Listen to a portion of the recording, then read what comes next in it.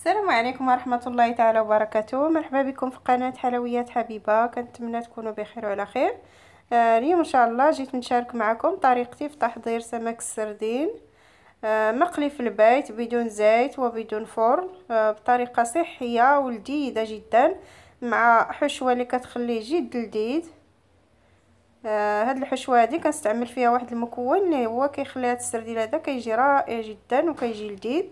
آه كيف كتشوفوا معايا؟ السردين هنايا مقلي بدون زيت.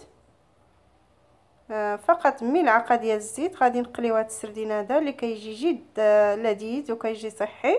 فتابعوا معايا الفيديو باش تعرفوا على المقادير وطريقة التحضير. آه بسم الله. هنا غادي نحتاج آه السمك ديال السردين آه ممكن تستعملوه على حساب الكمية اللي عندكم.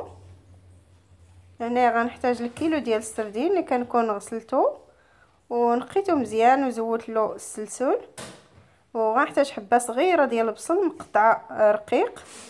وغنحتاج القزبور معدنوس مقطعين حتى هما رقيق. وغنحتاج البزار آه الكمون الخرقوم. وراس معلقة ديال التحميرة مع القليل ديال الملح. آه غنضيف عليهم معلقة ديال آه الزيت. وغنخلط كلشي جيدا. آه كيف كتشوفوا معايا هنا؟ غنخلطهم مزيان. آه حتى كنتحصل على هذا الشكل هذا غناخذ السردين ديالي. آه غنشرملو بواحد الطريقة اللي هي جد عادية. آه اللي كنشرملو بها السردين.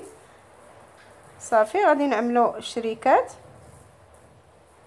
آه عادي بحال غنقليوه بالزيت صافي بالنسبة لهاد الحشوة هادي فكنستعملو فيها البصل اللي كيخلي آه فيها واحد اللذه هي خاصة جدا وكتجي لذيذة جدا.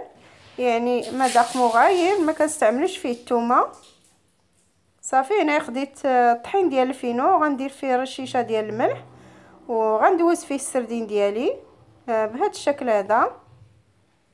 آه حتى كندوز فيها السردين ديالي كامل كناخذ مقلة آه كنوضع فيها معلقة كبيرة ديال الزيت وكنسخنها فوق البوطة حتى تسخن لي مزيان وغنستف السردين ديالي بهذه الطريقة هذه.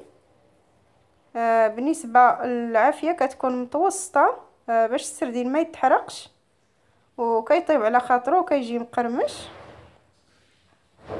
صافي أنا غادي نوضعو فوق النار حتى كيطيب لي آه من الأسفل وغنقلبو بهذا الشكل هذا. كيف كتشوفوا معايا كيجي محمر وكيجي مقاد في الطياب يعني بدون زيت. فطريقة جد صحية ولذيذه آه كنتمنى أنكم تجربوها. آه بعد ما كيطيب كنتحصلوا على هذا الشكل هذا اللي كيجي رائع جدا اقتصادي وصحي ولذيذ. آه كيف كتشوفوا معايا؟ يعني السرديل آه عادي بحال قلينا يعني بدون زيت آه كيجي على هذا الشكل هذا كيجي لذيذ جدا. مع الحشوة اللي درنا معاه كتجي حتى هي كتجي رائعة. وكتجي لذيذة بنكهة البصل. آه هاد الحشوة هذه هي اللي كتخليه كيجي آه لذيذ. فها هو كيجي بحال مقلي وكيجي مقرمش. والحشوة كتجي في الوسط. يعني كيجي رائع جدا. كنتمنى أنكم تجربوه.